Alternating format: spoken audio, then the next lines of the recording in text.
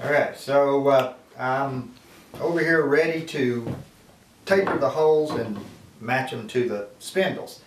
Now, the first thing I did was I picked out my best spindles and put those in the middle, the straightest spindles, and the uh, crookedest spindles uh, go on the outside. And so you can see the bow in that one, but uh, those are going to work just fine. In fact, I like them a little bit like that. They'll be fine. So I've numbered them, so I'll make sure not to get the wrong one, and put the corresponding numbers over here on the bottom of the arm rail. So I'll make sure that fitting the right spindle to the right hole. Um, now, for years I tapered these holes with a rat tail file. This is a 12 inch rough cut Nicholson rat tail file.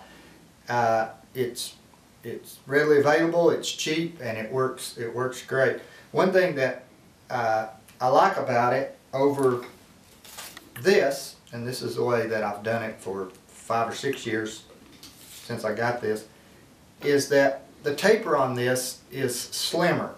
So visually, when you're looking at the chair, I like the look of it and the difference in the spindle as it's entering this hole and coming out. It's not quite as abrupt as it is with this with this reamer right here. Uh, and so I actually like the finished results of what the tail file does. And I've always thought I might go back to it. It just takes a little bit more work than it does with this reamer right here. This reamer's really fast. Just pop it in the hole, couple of turns, try the spindle to it, and then you can just move right on. Uh, this is that reamer that I tapered the arm support holes with that I told you I wasn't going to tell you how much I paid for it. Um, so I'm going to do this.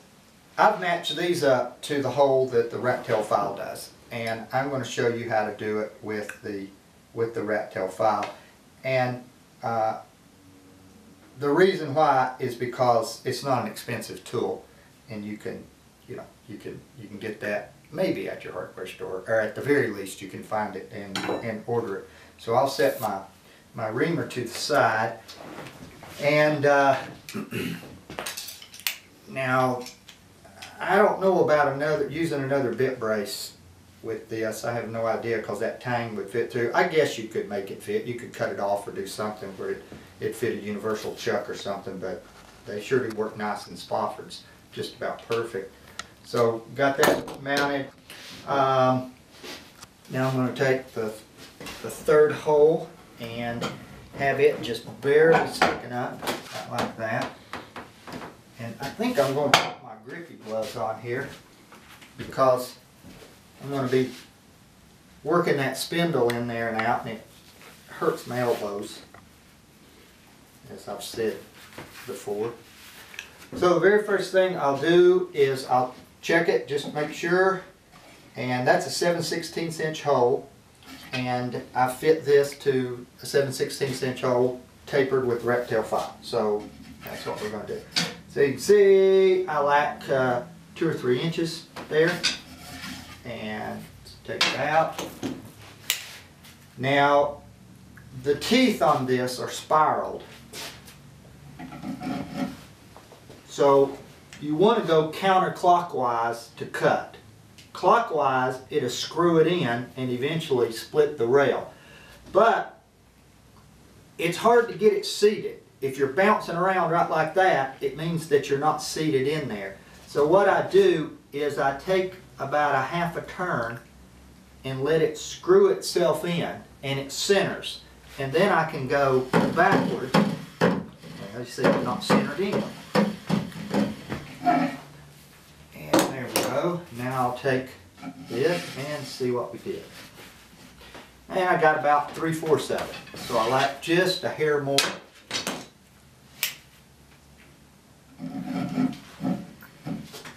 Let it screw itself in. And there we go. See what we got here. Well, didn't quite get it, but you get the idea there. That is very nice and tight. Great way, great way to put a chair together. So let me take just a little turn more here.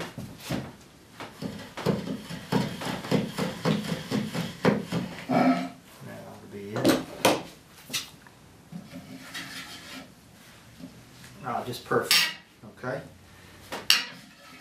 Set that one to the side. Okay, so we got spindle number four here, and I always try them first, just to make sure, I know they're not gonna go up in there any further. Right there's the, the line, if you can see it on the film. So, what, two inches or so. But I just try it, just to make sure.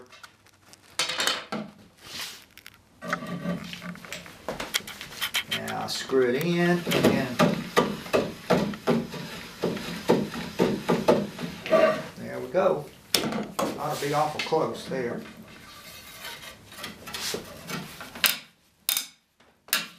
About three quarters of an inch.